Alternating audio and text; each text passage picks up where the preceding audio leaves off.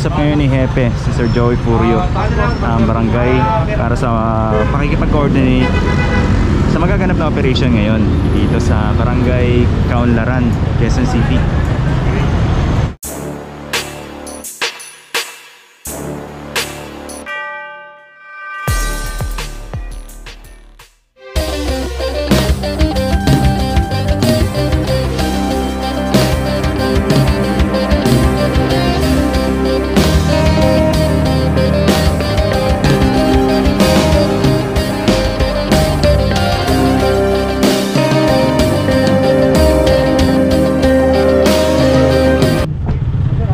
Nandito na tayo ngayon sa Native Street at ito yung pangalawang operation ng task force dito sa may barangay Kaunlaran, Quezon City.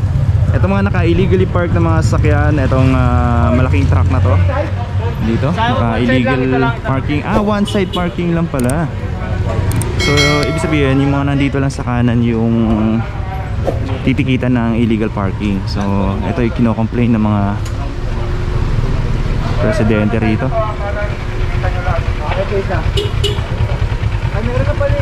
Ano? Ah, sino ang titing? Ako na. Ako na. Yan ang ano, yung iba. Ay, ay, So- itong na maliit. Itong illegal parking, ah, pagka walang driver unattended, nasa 1,000 pesos ang penalty and babayaran niya na may-ari sa Bayad Center. Pwede naman dito sa kaliwa, pwede mag-park. Pero dito sa kanan, bawal. Kasama ng task force ang mga taga-barangay para i-guide ang task force sa operation. Kung saan yung mga area na kinocomplain ng mga residente. Doyan, doyan! Ano yan? Ano eh? U-turn kayo, U-turn.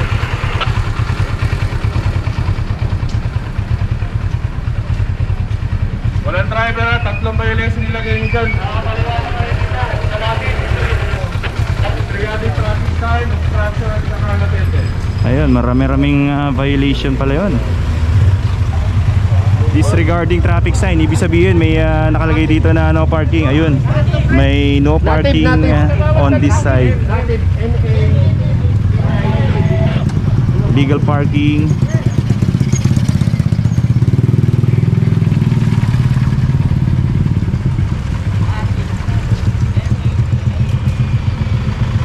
Sir Joey, good morning. Ay, sorry. Ah, ito ba 'yan oh? Complaint po ba 'to ng ano ng mga taga rito? Ah, actually, complain na rin yan through ah, barangay natin, kinoordinate natin yung problema Opo. bago tayo mag-execute ng operation and at the same time ano rin sa barangay ito kasi nga nirereklamo sa kanilang na residensya kaya umaksyon din sila Ah, padala sila sa atin ng request para magawa ng action sa problema na to makikita mo naka double parking sila oo nga. Ayun, double parking magkabila.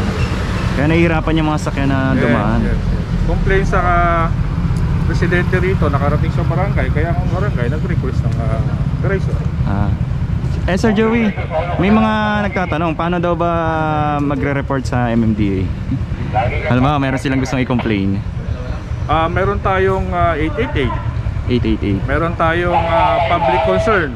Pwede Ah. silang tumawag sa opisina natin para mag-request kung ah, gusto nilang uh, masolusyonan yung problema nila. Especially ngayong ah, pandemic and at the same time, itong Christmas at ah, para maluwag-luwag naman yung kalsada nila, pwede silang mag-request. Ayun. Pwede rin silang sumulat direkta sa ating ah, opisina. Ah, pwede raw ba sa FB page? Hmm. Pwede rin. Meron tayong FB sa MFDA. Punta Ay, lang kayo sa. FB ng MFDA. Pwede kayo mag- mag- mag-request. Thank you po Sir Joey. Ayan ah, na-explain na natin ni, ni Hepe, na-explain sa atin ni Hepe kung paano yung mga procedure. Kasi as- usually ganito mga complain naman talaga to eh, yung ina-actionan eh. Hindi naman yung basta na lang pupunta yung task force tapos manguhuli. Ito ay complain from concerned citizen. Kaya nandito yung mga taga-barangay. Ito makikita nyo, nandito yung mga taga-barangay. Hello Sir Richard, good morning. Sir Richard sa SCOG. Nandito yung mga taga-barangay para i-guide yung task force or i-assist kung saan ba dapat ang operation. Kung ano yung dapat tikitan. Ba dito? So dito lang yung ah, titikitan, hindi kasama tong ah, nandito sa kabila. Sundan natin itong uh, Scob. Nandito na sila sa Richard. Meron namang ah, operation dito.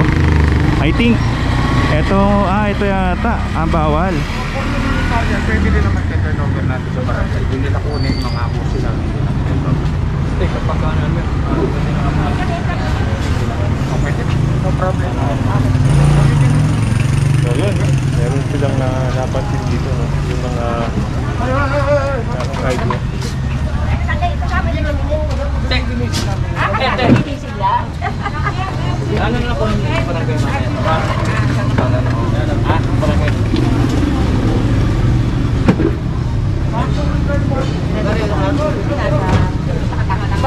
Eh, may napansin sila dito yung mga naka yung mga illegal vendors dito sa sidewalk. So binagbabawal 'yan. And kasama rin sa mga complaint. Yung mga illegal vendors sa mga sidewalk. At yun naman ang ah, task ng SCOB Sidewalk Clearing Operation. Yung mga paglilinis ng mga sidewalk. Andun yung may kasama rin tayong tow truck naka-standby. Sa makikita nyo, mapapansin nyo, ang kinokompiska lang is yung mga patungan, yung lamesa, pero hindi naman kinokompiska yung mga paninda. For humanitarian reason din. Lalo na ngayon sa mga kabab- kababayan natin na mga naghahanap buhay. Pero dito, eto mga kalat dito, mga basura. Nakaharang dito sa may sidewalk. So, yan, nililinis yan ng scob. Tuloy-tuloy lang hanggang dun sa Bandaron, malapit na doon sa may tindahan.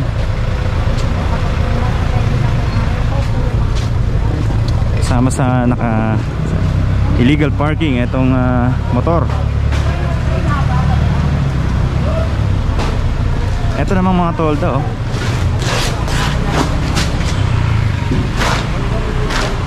Bawal din kasi ito eh, mga tolda na to. Eyesore siya.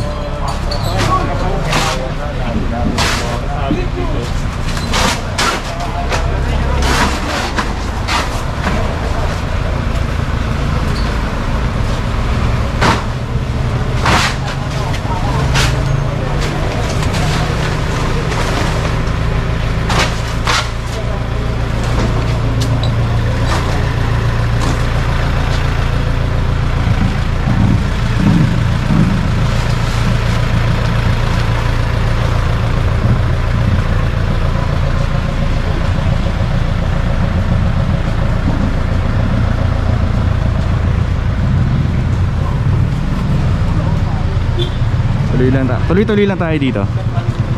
Etong mga ito may mga nilalagay na mga gulong para sa mga ayaw magpa-park dito sa harapan nila. Ah, mga obstruction din kasi to.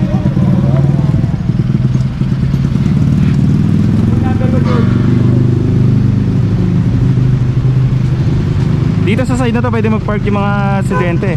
Pero yung bawal lang talaga is yung dito sa bandang kaliwa. Or yung ito kaliwahan natin.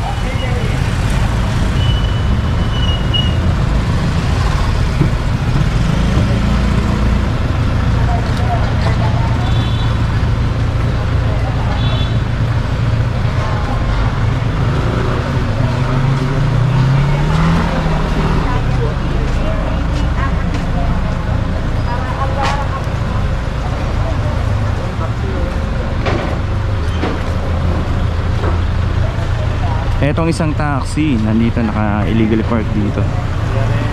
Ah, May no parking sign. Pero may driver. Naka-hazard naman siya. Pag mga ganito, pwede naman yan. Pinapaalis na lang, hindi na titikitan kasi nandito naman yung driver. Mostly, yung mga ganitong dito may kalat pa pala rito. Ayun, mga halaman. Oo nga, nagbagyo nga sila eh.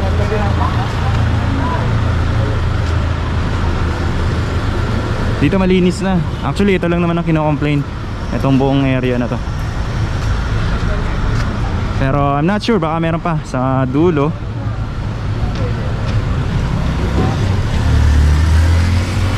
One side parking.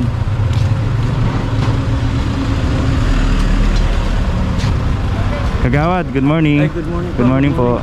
Ang nirereklamo po ang nirereklamo po dito itong side na to. Po, itong site na po na to kasi eh halos pinuno at tempo nga sila ngayon nagkakaunti yung nakaparadang truck.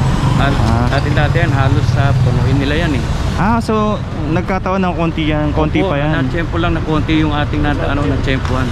Pero Wala pa dyan yung ano most ano niya kasi dumarating yung container van nila mga bandang alas alas 9 mga ganon alas 9 alas Ah. 10 kaya yung mga residente natin halos wala nung pagka nandiyan na lahat yung mga truck halos wala nang madaanan yung ano yung ah, yung mga sasakyan Kasi Kaya double parking double na po. parking na tapos malaki pa yung ano nila, yung mga truck Kung kasi. malalaking truck Malaki na nila. sa sako. maliliit pa nga yung, na, yung ano Ayun ngayon, nandyan. nakikita ngayon Kaya maya maya yan yung container nila darating na yan So kayo yung inaksyon na ng barangay dito Oo sa po, barangay Yung ko. po yung ano, na- yung inano ng barangay natin na inaksyonan.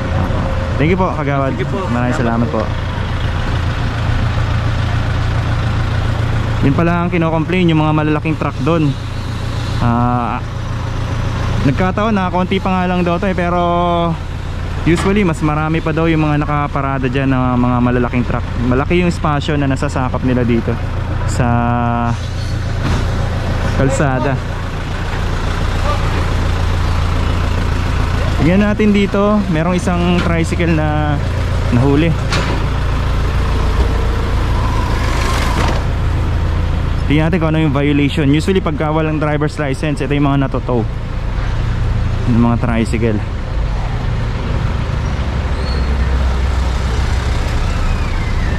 Kausap ni Hepe, Sir Joey Purio. Ah, mukhang may driver's license naman yung si Sir. Ito, yung nagmamaneho ng tricycle.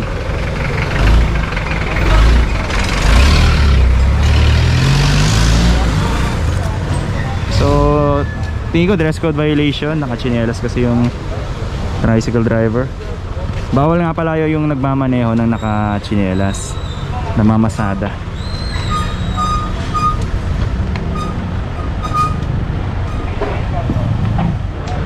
Sama sa lilinisin itong mga nakalampas na mga dahon. So, naging masukal na itong puno. Mala, na, nasakop na nila yung kalsada. Nakaharang na yung mga dahon dito. Kaya lilinisin ngayon yan ng scob para maklear yung daanan dito ng tao. Kasi nakasaga, nakakasagabal na itong halaman na to dito.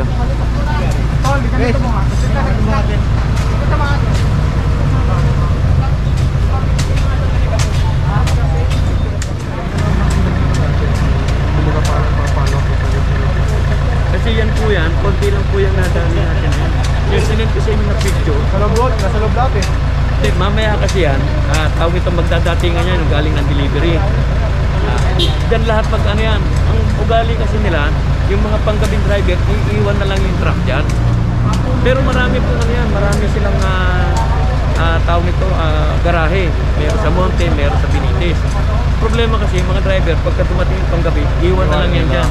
Kaya bahala na ngayon yan dyan. puno na yung ano nila, garahe, kaya namin sa loob. Hindi, hindi rin naman puno. Kita nyo, luwag-luwag kanina, pwede ipasok sa loob. Maabot na ng kamay.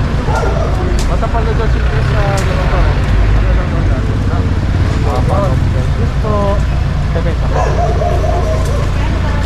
Malinis na, wala na yung nakaharang na halaman ngayon dito.